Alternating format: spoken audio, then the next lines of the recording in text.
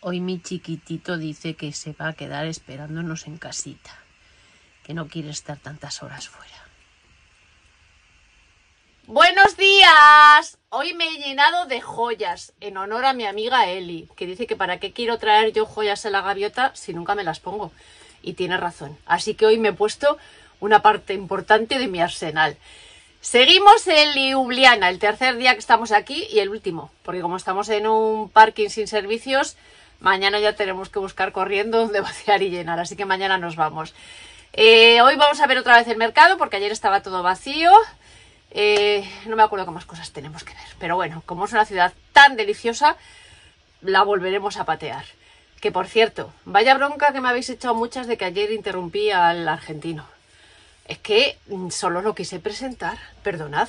Luego estuvimos hablando con él como hora y media. Habla más que Carlos. Imaginaros que no dejó a Carlos casi meter baza. Imaginaros lo que hablaba.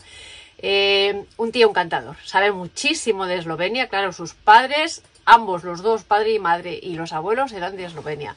Y nunca volvieron. Una vez que marcharon a Argentina, nunca volvieron. Que bueno, hoy le hemos dicho dónde creemos que vamos a comer sobre las dos, que si se quiere acercar, eh, que coma con nosotros. No sé lo que hará pero un tío encantador. Y nada más, ¡feliz día!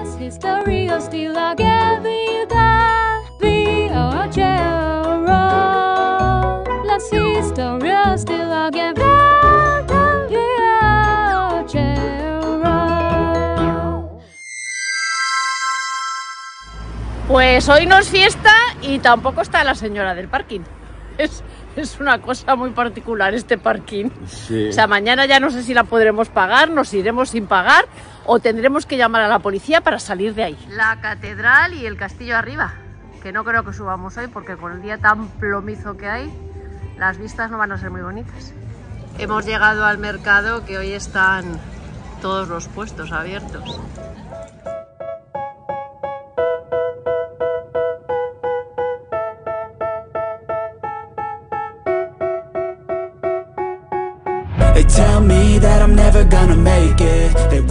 Hay unas frutas y verduras de unos tamaños que no he visto yo en mi vida de grandes. Estas son las uvas gigantes de ayer. Y esto todo es de tamaño mucho más grande que lo que yo suelo ver. Mangos también de piel diferente a la que yo conozco. Nos estamos desplazando hacia un barrio alternativo de aquí de Ljubljana que se llama Metelkova Mesto. Me imagino que será parecido al Cristiania de Ámsterdam,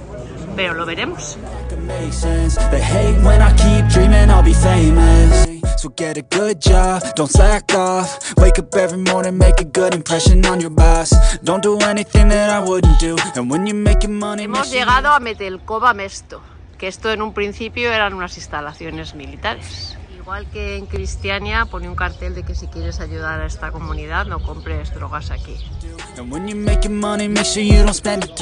Las famosas botas colgadas que tantas veces hemos visto en otros sitios y que nos dicen Mucha gente dice que quiere significar que aquí se vende droga.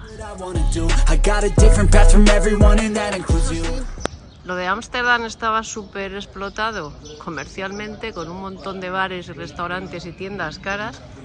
Y aquí por ahora mm, no veo. De hecho hay muy poca gente. Y ese olor a María que lo inunda todo.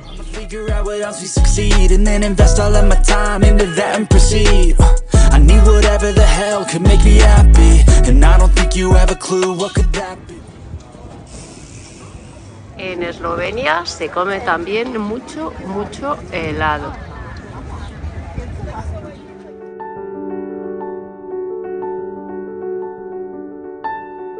Y así como quien no quiere la cosa, se está poniendo una tarde de lluvia, frío y viento, que para qué. Y, sin avisar. Y sin avisar. Aquí venimos, se llama Honduri y ayer estaba la terraza petada. Hoy los pocos que hay están dentro. Más cerca no podemos tener al cocinero. Ya estamos sentados en un Japanese street food que se llama Ondori. Eh, nos hubiera encantado estar en la terraza, pero menudo fresquito hace. Es que hoy se ha puesto a llover. De repente. Vale.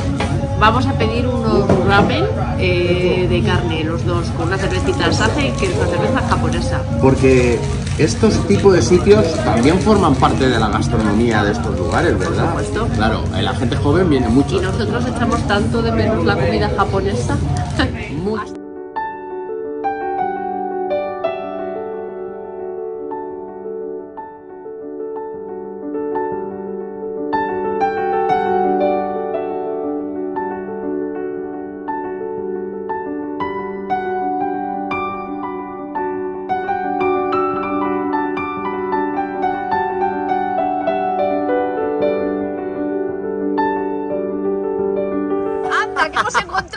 Seguidores! ¡Presentaros!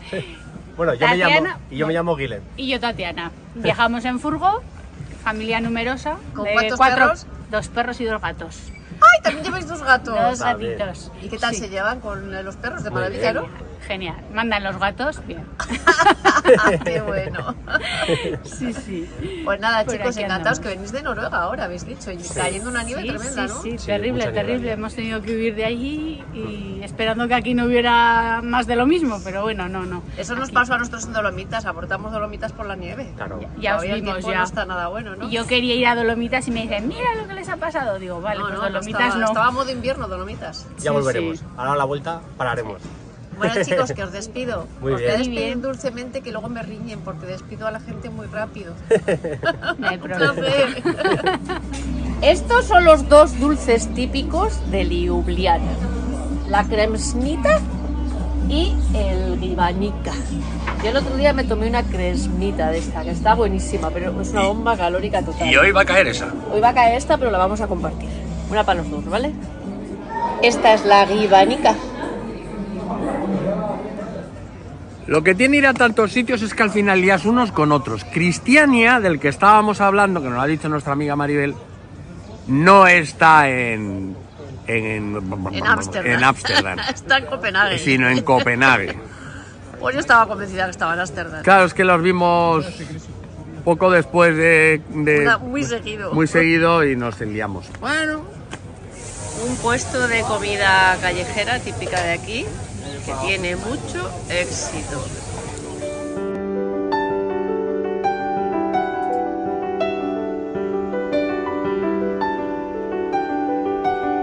¿qué? ¿Hoy no me pillas durmiendo, traidora?